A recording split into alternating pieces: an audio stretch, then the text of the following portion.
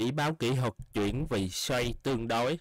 Xin chào mọi người, em là Nhật Quang đến từ kênh nhà đầu tư chứng khoán Việt Nam là WiFi Stock. Hôm nay thì em sẽ trở lại giới thiệu mọi người cái chỉ báo này do giờ tem chúng ta đã update cái chỉ báo này vào mọi cuối phiên. Có nhiều anh chị không hiểu cái cách đọc chỉ báo này nên bây giờ em sẽ làm một clip hướng dẫn sơ không có phải là hướng dẫn quá chuyên sâu. Vì sao? Vì cái chỉ báo này chúng ta chỉ mới áp dụng thôi, chưa có quá nhiều kinh nghiệm cho chỉ báo này, nhưng đủ để mọi người đọc và hiểu. Đây là tên tiếng Anh của chỉ báo, mọi người có thể coi. Rồi chúng ta coi khái niệm. Thì nhìn chung đây là một chỉ báo chia cái màn hình chúng ta làm bốn phần dẫn dắt suy yếu tụt hậu và cải thiện. Mọi người có thể đọc khái niệm này ở đây. Hoặc lên Google coi lại em ở đây em chỉ giới thiệu về cách đọc đồ thị chứ chúng ta không có, có giới thiệu về cách đọc lý thuyết nha. Cách đọc lý thuyết thì chúng ta sẽ nói sơ qua thôi hoặc là không cần tìm hiểu vì nó khá là chung chung và cũng không có giá trị nhiều. Nó chỉ là tương đó là cái chỉ báo RS này được thể hiện lên một cái đồ thị thôi một cái màn hình 4 phần. Gồm các phần này. Thì đây đây là cái hình về cái đồ thị này. Nhưng mà trong cái của chúng ta, em đã tắt màu đi hết, cho nó dễ nhìn nha. Do ở đây nếu mà mọi người để cái màn hình này, một, hai, ba, bốn màu này lên thì nó, những cái đường có màu nó sẽ bị tịt với cái màu của cái màn hình. Nó thành ra là chúng ta chuyển hết về màu xám ở đây mọi người có thể thấy các phần này. Thì đây, phần đầu tiên là màu xanh da trời, màu xanh nước biển. Đây là cải thiện hay còn gọi là dòng tiền bắt đầu đầu vào. Cổ phiếu đang bắt đầu bò bò bò đi lên từ từ nha. Bên phần bên đây là như vậy, dòng tiền bắt đầu vào. Bên màu xanh lá cây này là dòng tiền vào mạnh, cổ phiếu đẩy giá. Dòng tiền vào mạnh, cổ phiếu đẩy giá. Chúng ta ưu tiên mua cổ phiếu khi nó ở hai vùng này hai vùng phía trên, tức là 50% phía trên, nha. Đó, mình hiểu đơn giản vậy thôi. Ngược lại, mình sẽ không mua cổ phiếu hoặc là chỉ nắm giữ chốt lời các cổ phiếu ở vùng màu vàng. Dạ, và dùng màu đỏ là chúng ta hạn chế mua. Trừ khi cổ phiếu rất đẹp, có mô hình chuẩn bị tăng, mình mới có thể canh mua. Còn lại là mình không nên mua những cổ phiếu ở hai vùng này, nha. Màu vàng và màu đỏ, trong đó màu đỏ đó màu đỏ là gì? Là dùng suy yếu, tích lũy của cổ phiếu có khi tích lũy là gãy. Màu vàng là cổ phiếu suy yếu không tăng nổi nữa, mất động lực tăng giá, dòng tiền không vào. Có thể nó vẫn giữ giá đó, nhưng mà nó xuống dòng màu vàng quá nhiều thì thể hiện là cổ phiếu mất cái lực tăng. Nó chỉ có thể bò bò heo thì nó có thể gãy bất cứ lúc nào nha, nó có thể gãy bất cứ lúc nào, nên cổ phiếu ở dùng màu vàng này phải đặc biệt cẩn thận. Rồi tiếp tục đây là đồ thị của chúng ta. Thì mọi người có thể thấy, ví dụ mình dùng cái hình này, thì mọi người thấy sao? Hay là mình vô qua đây đi, thì mình sẽ thấy đây là cái biểu đồ em cho mọi người coi hàng ngày. Và mới vừa phiên vừa rồi đó, thì em có gửi trong cái rơm chăm sóc. Đây, em có gửi cho rơm chăm sóc, mọi người có thể thấy hoặc các hình này. Thì mỗi cuối ngày em sẽ gửi cho mọi người coi. Đây đây là 27 cổ phiếu trong danh mục thì em gửi hai đó. Thì mọi người có thể nhìn vô đây, nó sẽ có, em đầu tiên bây giờ là mình sẽ giải thích đi nha. Thì mọi người thấy ở những cái chấm màu vàng chấm này, đây là mình không kẻ vô được trong cái à, đường này nên thành ra mọi người gán nhìn theo con trỏ chuột nha. Ở đây mọi người thấy cái chấm này không? Có cái tên của cổ phiếu là STB tên của cổ phiếu là MBB vậy thì ở đây chứng tỏ là gì? Là ngày hiện tại, nó đang nằm ở đây. Còn cái đoạn ở phía sau này thì mọi người có thể hiểu đơn giản là mỗi một cái nét gấp này nè, là một ngày nha, là một ngày. Mỗi một cái đoạn, mỗi một cái chấm này là một ngày. Thì đây, mỗi một cái chấm và chấm hiện tại nó đang ở dưới đây. Và cổ phiếu là đi theo hình, cái cái đầu thị nó đi theo hình. Dòng cung, chiều kim đồng hồ, xoay xoay xoay như thế này. Thì những cái con nào nó đi từ dưới đi lên dùng cải thiện là dùng ở bên trái này, màu xanh da trời, hoặc là dùng màu xanh lá cây ở trên đây là những cổ phiếu mạnh, đang có xu thế úp giá mạnh đi lên. Ngược lại, những cái con mà cắm đầu đi xuống với dùng suy yếu này, đặc biệt là TB ở đây, thì mọi người có thể thấy là nó có nguy hiểm, nó đang yếu. Mình không nên mua vào, nó có thể gãy bất cứ lúc nào và nó xuống vùng tụt hậu này bất cứ lúc nào. Mình chỉ ưu tiên mua những cổ phiếu đang đi lên vùng cải hiện hoặc là từ vùng cải hiện đi qua vùng dẫn dắt, tức là vùng có dòng tiền vào mạnh chuẩn bị kéo nha, chuẩn bị kéo. Ở đây hôm qua bữa em có tư vấn mọi người mua rơm, đi lệnh nè. Em có kêu mọi người mua full vị thế MSB full vị thế Oxin Bank vì sao? Vì mọi người thấy ở đây nó đang đi từ dùng cải hiện qua dùng dẫn dắt. Đây, hai cổ phiếu này đều rất mạnh. Và ở đây mình có một cái chú ý là cái cung này cũng khá quan trọng. Cái cung là sao? Tức là cái độ rộng nha. Ví dụ người thấy cái độ rộng của con MBB sao? Dạ, Vậy con STB nè, rất lớn, phải không? Tuy nhiên độ rộng của con, những cái con ở bên giữa đây lại rất nhỏ. Thì đơn giản thôi. Cái độ rộng càng lớn, cổ phiếu sẽ đi càng mạnh.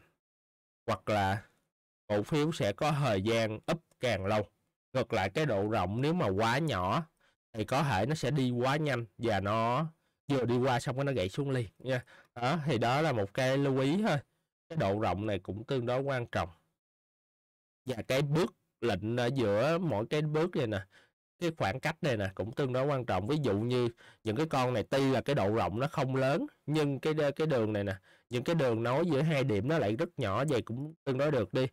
Nếu mà cái đường nối giữa hai điểm này nó quá lớn, thì cổ phiếu sẽ đi chừng hai ba ngày là nó sẽ gãy xuống lại nha. Đó và ngược lại, ví dụ người thấy con STB đi, nó đang đánh cái cung rất lớn này xuống vùng suy yếu thì hiển nhiên nếu dòng tiền vào lại, nó cũng phải mất rất nhiều phiên nó mới lên được lại vùng dẫn dắt. Nên thành ra là gì? Nó có cái rủi ro, nên mình không nên mua, nó có thể đi cắm đầu qua vùng cột hậu ngay lập tức tức là vùng cổ phiếu có thể gãy ngay lập tức nha. Đó. còn MB đang cắm xuống vùng suy yếu ha, nhưng tuy nhiên nó chưa suy yếu, nó vẫn có thể móc ngược lên. Ở đây chúng ta sẽ có một cái lưu ý thêm đó là điểm ngay khoảng ngay giữa đây. Nếu mà những cái cổ phiếu có cái cung cắm xuống cái cung cắm xuống ví dụ như VIP đi mọi người thấy nó đi từ dưới vùng này nó đi lên chứ nó không hề đi qua hai vùng này. Tức là cổ phiếu có hệ suy yếu rồi tăng lại chứ không nhất thiết phải qua tụt hậu và cải thiện mà nó có thể chỉ cần suy yếu xuống xong dòng tiền vô nó dẫn dắt tiếp. Mình có thể coi ví dụ ở những cái con trong uh, danh mục chúng ta đi đây mọi người thấy con ghiêu không? Cái cung này, nó rất nhỏ. Thì nó chỉ cần đi xuống đây, nó có thể giật lên, nó kéo ngược lên ngay lập tức, hoặc con double cô người thấy không? Nó đi cái cung này rất nhỏ, thì nó có thể giật lên, nó chạy ngược trở lên ngay lập tức.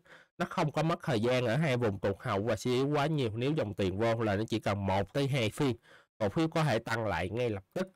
Ngược lại, những cái con nào mình có thể bắt đầu thăm dò. Mọi người thấy chúng ta thăm dò gì? Đất xanh nè.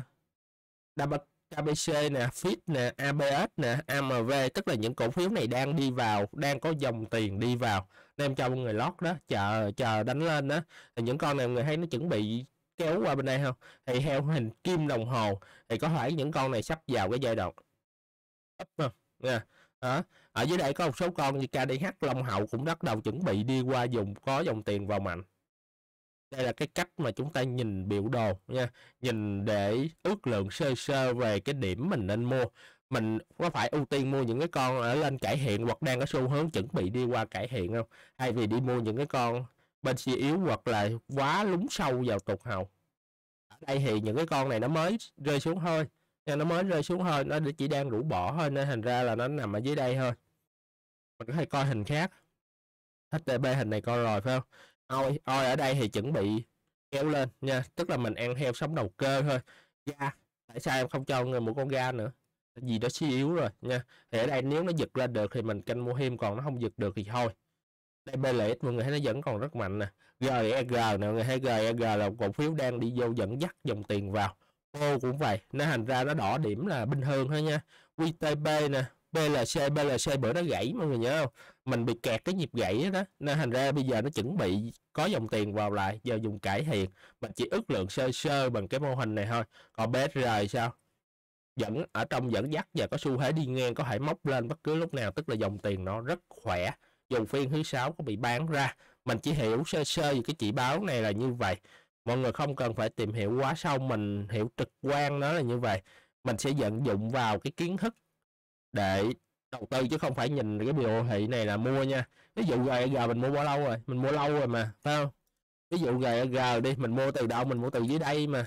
Hoặc là WTB nó đang nằm ở đây nè, nhưng mà mình mua từ đâu rồi?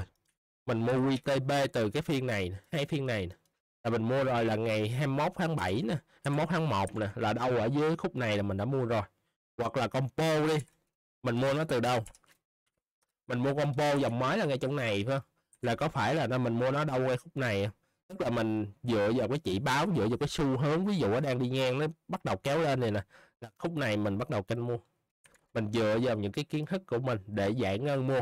Tức là cái chỉ báo này chỉ có giá trị tham khảo, nhưng mà cũng có thể là gì?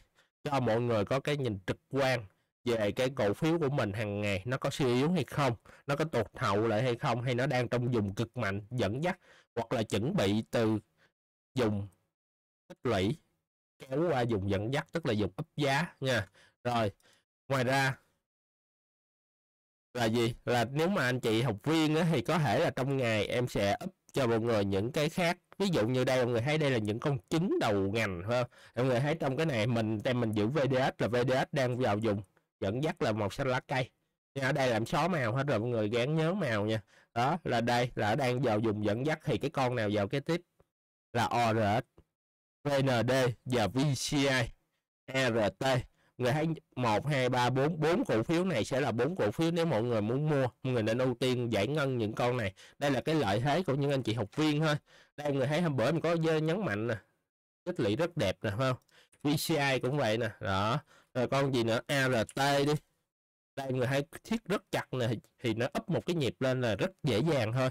Rồi con gì nữa? ORS ORS cũng tương tự vậy. Đây bữa em có hướng dẫn bản tin tối hôm qua đó làm có chỉ mọi người đó thì đây, những anh chị học viên ví dụ như mọi người cần ngành nghề nào, em sẽ làm một cái bảng em gửi cho mọi người, coi hàng ngày. Ví dụ như đây là ngành trứng đi, thì mọi người thấy ngành trứng đang xu thế là đã lên đi, phải không? Thì những cái con nào yếu nhất, thì những cái con đi bên dưới là những con yếu hơn, còn những cái con đi lên phía trên này là dòng tiền nó đi vào đáng kể nè. Nếu kéo thì sẽ kéo những cái con đầy đầu tiên. Và con nào ở đi đầu rồi? Đó không phải là VDS đâu. VDS nó đâu có gãy đâu. Là cổ phiếu trong tem chúng ta đang giữ đó mọi người thấy VDS không gãy, phải không? Thậm chí bây giờ nó còn tăng lại. Trong khi những cổ phiếu chứng khác đang ở dưới đây, VDS đang ở trên đây. Tức là cổ phiếu này mạnh hơn rất nhiều thì nó đang ở trong vùng dẫn dắt là như vậy, nha. Nên mình mới vào mình trả đá đó.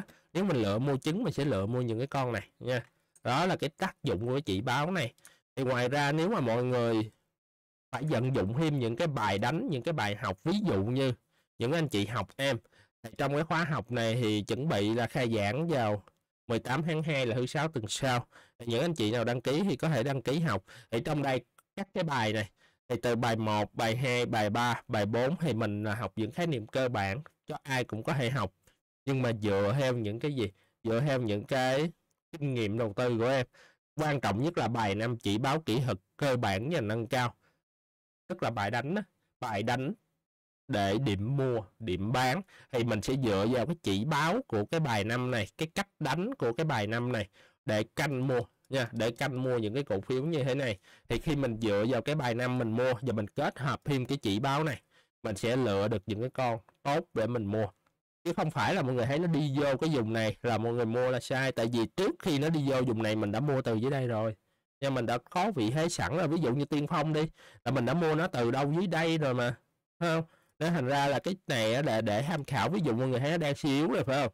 Nhưng bất ngờ nó giật giật giật giật lên vậy có phải là dòng tiền đang vào? Đây là nó chỉnh xuống rồi, phải không? Nó giật giật giật giật lên nữa. Đó, tức là dòng tiền nó đang vào thì mình có cái này để mình tham khảo. Nên em làm cái clip này để giải thích cho mọi người. Thì cái phần này không share được, chắc chắn là đây là một cái chỉ báo không phải ai cũng có. Rất ít người trên thị trường này có cái chỉ báo này. Thì mỗi buổi chiều, sau giờ giao dịch, em sẽ gửi lên trên room cho mọi người coi về các mã cổ phiếu trong danh mục mình nắm giữ. Hoặc là đăng lên đâu, hoặc là đăng lên cái room nhà đầu tư chứng khoán Việt Nam, là wifi Stop ở dưới đây. Đó, em sẽ đăng lên đây cùng với cái danh mục cổ phiếu cho mọi người quan sát cái cổ phiếu mình đang ở vùng nào. Đa phần thì các cổ phiếu chúng ta đều ở vùng rất mạnh là dùng à, đa phần là dùng rất mạnh, chỉ có cổ phiếu dầu khí là hôm bữa bị sảy chân con BVD có BVC là hơi hấp thôi, còn lại là gì là bị lỗ đó, thì rõ ràng trong danh mục chúng ta là BVD với BVC đang là đảo phải không? Đó, nên thành ra là chỉ có hai con này là hơi bị hấp, còn con ga đang đi xuống, nên em đang cân nhắc có nên bán hay không. Nó hơi yếu và không được như kỳ vọng nha. Đó đó là cái cách chúng ta kết hợp thêm cái chỉ báo này vào giao dịch em giới thiệu mọi người như vậy thôi, chỉ đơn giản như vậy thôi. Mình không cần tìm hiểu quá cao siêu, nó có hai cái cung cung lớn và cung nhỏ ở trong. Mình nhìn nó ngỡ ngợ ra được rồi, nha. Rồi, thì mọi người xem tới đây, nhớ cho em lục lượt like, share và đăng ký kênh. Nếu có vấn đề thắc mắc có thể liên hệ với bạn trợ lý Thanh Hà bên dưới phần mô tả video. Bạn sẽ hướng dẫn và đại giải đáp thắc mắc cho mọi người hoặc là liên hệ với số điện thoại Zalo của em số điện thoại đang chạy chạy qua trên màn hình đó. Rồi, xin chào mọi người, em là Nhật Quang.